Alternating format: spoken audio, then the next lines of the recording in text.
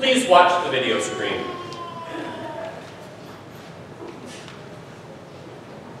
Who do you say Jesus was? I have no idea. Who was Jesus? Gosh, I have to start with I'm not sure. Who was Jesus to you? Some guy. Actually, I don't believe in Jesus. I'm Not really sure exactly who Jesus was. I think Jesus was uh was a was kind of a cool guy back in his day. Who was Jesus to you? I think I'm not, I don't like to talk about it. I'm a spiritual person, but I'm not religious. Who do you think Jesus was or is?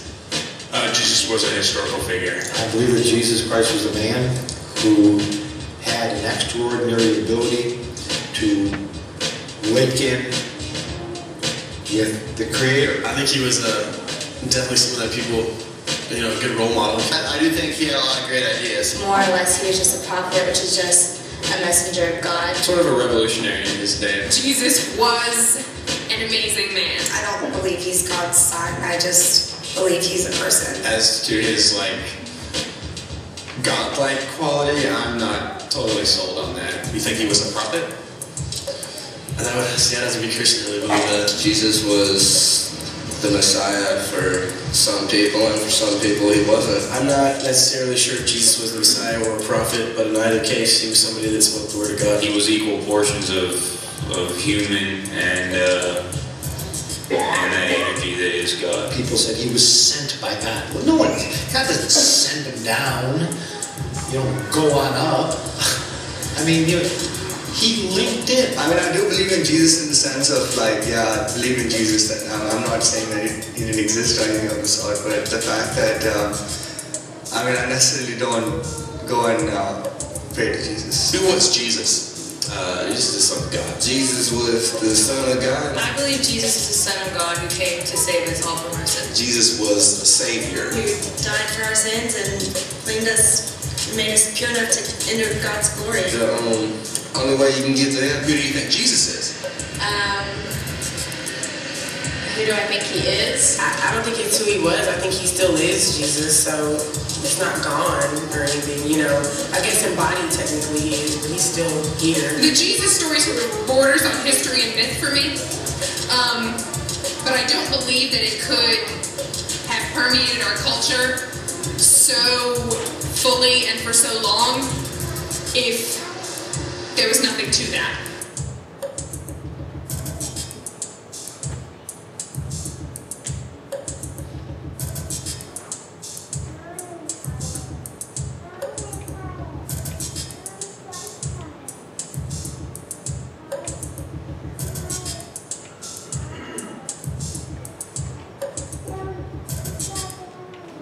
Grace to you and peace from God our Father and our Lord and Savior, Jesus Christ. Amen. He was unlike anything anyone had ever seen before. He came in human form, but he really wasn't like us. He came from a far, far away place. The only son of his father, and his father sent him here to be on a mission. He blended in, but he wasn't like anyone else. He had extraordinary power, unlike anything anyone had ever, ever seen before, and he was in every way possible a savior. So who am I talking about? Not Jesus. Superman. Faster than a speeding bullet, more powerful than a locomotive, able to leap tall buildings in a single bound. Disguised as mild-mannered Clark Kent, but able to be transformed by way of a phone booth into the Man of Steel. In the most recent movie, Superman, Man of Steel, which came out just a few months ago, there was a really strong connection between Superman and Jesus. In one scene, there is a, a spirit form of the father of Superman, Jor-El. And he comes alongside of, of Superman, and they're standing in a place where they can see the whole world. And Jor-El says to Superman, he says, you can save her. You can save everyone. And then Superman flies off into space, but as he does, He doesn't do the typical arms out in front kind of move of flying. He does so with his arms stretched out to the side in the perfect form of a cross. Why? Because he can save Lois Lane and he can save you too. We love our superheroes, don't we?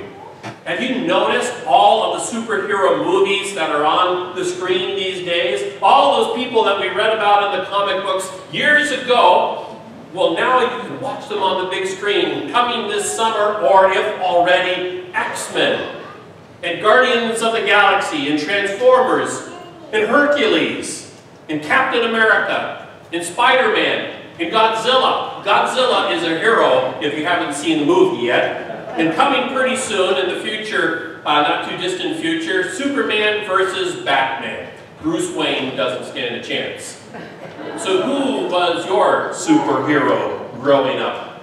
The connection between Superman and Jesus is something that actually becomes quite strong in the theological world. Would you be surprised that there are scholarly articles written in theological journals that would equate Jesus as the first century Superman, or Superman today as the Jesus figure from years and years ago. It makes sense, doesn't it? We want a hero. Our world is in a mess. Things are falling apart. Every day you hear about evil having its way in our world someplace. And we know that we don't have the power to fix things. And God knows that our political system is not prepared to make it all better. So we need a hero beyond ourselves. Somebody possessed with divine powers in order to fix all of the broken things. We need a superhero. So when Jesus asks his disciples, who people say that he is, I want you to notice where they're located. They're in Caesarea Philippi. Why is that significant? Because Caesarea Philippi was the summer cottage home of Herod. It wasn't really a cottage. It was a palatial mansion. And it was built on a hill that overlooked the town. And everybody, wherever you went, would see that palace and they would know that Herod is king. He's in charge. And we are not in charge. But then I want you to notice the answer that Jesus' disciples give Jesus when he asks them, who do people say that I am? They answer, well, some say John the Baptist. And others say Elijah. And others say one of the prophets. Okay, what's the common theme between those three identities? They're all dead. They're all dead. And so if Jesus is indeed one of those three, then he's going to have to be a superhero to come back from the dead. And then Jesus asks, okay, but who do you say that I am? The gospel writer Mark places this question right smack dab in the middle of the gospel. It's like he has been working eight chapters to get to this point where Jesus is going to ask this most important question. And it's a question that is not only asked of the disciples, it's asked of every reader, it's asked of you. Who do you say that I am? And Peter steps up to the plate and he says, Well, you are Superman, the son of Jor-El. Well, he doesn't really say that. But that's exactly what he meant when he said, well, you're the Messiah. You're the Messiah. That word, Messiah, is a loaded word in Hebrew, Meshiach. But it's a word that means the anointed one. In the New Testament, the New Testament was written in, Greek, and in Greek the word is Christos, or Christ. So when we name Jesus the Christ, Jesus Christ, we're not saying Christ is his last name. No, we're, we're saying that that's his identifier name. He is the Messiah. He is the anointed one. And Peter, along with all the other disciples and all the other ordinary folk are standing there. They are looking for a hero because life is not easy. This land that God gave the Israelites, it's not theirs anymore. They look around, they see the Roman soldiers, they know they're not in charge of their own property. It now all belongs to Caesar, and they're taxed. Beyond belief, they are taxed. 80% tax rate. That was pretty low. 90% tax rate. Get this. 110% tax rate. You, you could never get ahead. And, and the temple, that place where God is supposed to live, it doesn't belong to the Jews anymore. It's now Herod's temple. He built it. He put the high chief priest in charge of the temple. And all of the temple tax goes to him. Life was horrible. And Peter remembers reading passages in the Bible about the promise of, a, of an anointed one, a, a Messiah, a king that would be coming someday to make everything better. And this king would come with power and with authority. And Peter has been watching Jesus long enough to know that he has power. He has done amazing things. And he's listened to the sermons that Jesus has preached. And he knows that he speaks as one with great authority. And so everybody looks to Jesus and they say, maybe he is the Messiah. Of course he was. Course he was the Messiah, but not in the way that Peter expected, and not in the way that anybody would have expected. But he was the Messiah in every way that was needed. Now, when I was growing up, I didn't watch all the Superman stories. I wasn't a huge Superman fan, but my guy was the Lone Ranger. You knew the Lone Ranger was a good guy because he always wore a white hat. Wherever he went, and the stories of the Lone Ranger were so exciting for a little kid because, you see, the Lone Ranger always stood for good things, right? He was always trying to beat the bad guys or save the women or get the money back from the, the robbers who stole from the bank and now all the town is depleted and everyone is, you know the stories. And there's always a point in all of the Lone Ranger stories where the Lone Ranger gets in trouble. He, uh, he either gets tied up or he gets zonked on the head or or maybe, um, you know, they got a gun to his head. It always looked bad, but then turned good. And you knew it was going to turn good when the William Tell Overture played. and you knew at that moment that the Lone Ranger was going to win the day, and he's going to get the girl, he's going to win back the money, he's going to put away the bad guys for good. Wouldn't it be cool if Jesus mounted a white stallion and the William Tell Overture started to play. And he rode into Caesarea Philippi, or to Jerusalem, or better yet to Rome, and he whipped out Herod, and he kicked out Caesar, and he did away with all the bad guys. Isn't that what everyone wanted in a Messiah? And Jesus tells Peter, you answered right. I am the Messiah. Don't tell anyone. Don't say a word. Why would he say that? Because Jesus is not going to be a Messiah like a Superman. He's not going to be a superhero. And it's going to be a while before Peter and the rest of the disciples are going to figure out what this Messiah really means. They have to get to the end of the story. They have to walk with Jesus to the very end, to the point at which Jesus, in fact, is going to give up his life. It's at that point that they're going to understand what anointed means, all the way to the cross. So it comes to this.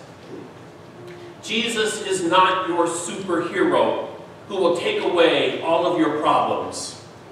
He will not swoop in and beat down the bad guys in this world or those who are in your life. He will not beat up on Herod. He will not beat up on your enemies. If you are dangerously in debt, Jesus will not make it so that you magically win the lottery. If you have a troubled marriage, Jesus will not make it so that overnight your spouse agrees with everything you say. If you did not study for a test, Jesus will not magically turn your wrong answers into right answers. And if you have trials and tribulations, you will have trials and tribulations. He will not take them away. And so you might be thinking, well, what sort of Messiah is this? And that's a great question. He's the kind of Messiah that will teach you about the cross. That will teach you about the cross. And I hope that the rest of this sermon series for June and July will fill in even more specifically what that means for you. But in those words is not only the direction for life, but the power for life as well. Jesus is the kind of Messiah who will teach us about the cross. Every once in a while, you get a phone call from somebody who um, doesn't go to church, or maybe they've been kind of distant from God, and all of a sudden their life is falling apart, and, and they, they need help. One day I got a call from a woman, and she really needed help. Her son was being sent to prison. Her husband was a drunk, and she had just been notified that she had to have major surgery. So in the course of the conversation on the phone, I said, I have to ask you kind of a dumb question, I realize. But how can I pray for you? What, what specifically can I pray for in your life? And she said this, that God would fix everything. I said, God doesn't fix everything. That's not how He works. God does a fixing work, but oftentimes in ways that we never see happening, nor do we expect it to happen. And when God, God does God's fixing work, it oftentimes is in ways that um, take for a long time. But He does come. And He does promise that because he carried upon himself the burden of the cross, then the cross that you carry is possible. He does promise that wherever you go, you go not alone. He is with you, even before you. He does promise that the powers of this world cannot compete with his powers. So that his peace, his hope, his joy may come through in the midst of the struggles of life. And he promises, someday he will make it all better, forever.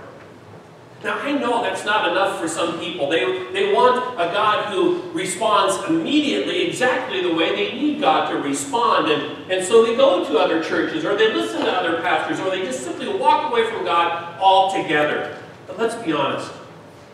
It's really in the hardest of times that we face that we discover who we are and what we're made of and what's most important.